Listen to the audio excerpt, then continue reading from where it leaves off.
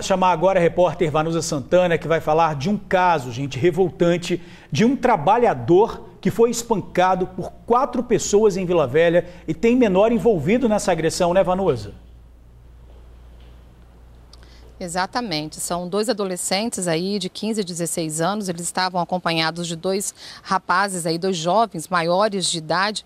Eles se aproximaram desse jovem que faz a limpeza de vitrines ali na Rua Fortaleza, em Itapuã, Vila Velha. E aí começaram uma discussão. Pelas imagens dá para ver, inclusive, que um desses adolescentes carrega um, um facão na mão. E aí eles começam uma discussão. Logo em seguida, já partem para cima desse rapaz que é agredido covardemente aí com chutes, socos e logo na sequência eles fogem do local. A polícia foi avisada e conseguiu fazer buscas ali na região de Itapuã e conseguiu localizar esses quatro jovens que acabaram aí é, agredindo esse limpador de vitrines aí em Itapuã, na rua Fortaleza.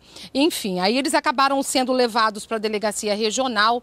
Em depoimento, a vítima contou que teria sido, é, é, o motivo teria, teria sido o seguinte, porque ele faz a limpeza ali dessas lojas em Itapuã.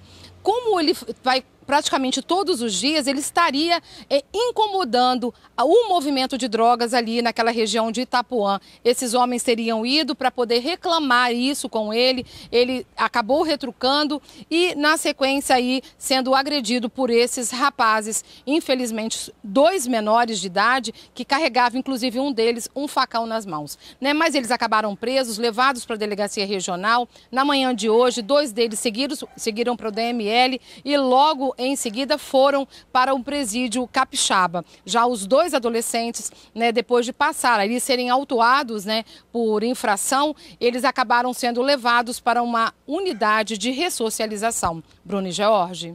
Pois é, que perigo, com um facão na rua, né? Reação rápida da polícia também, Muito. vamos alertar. Né?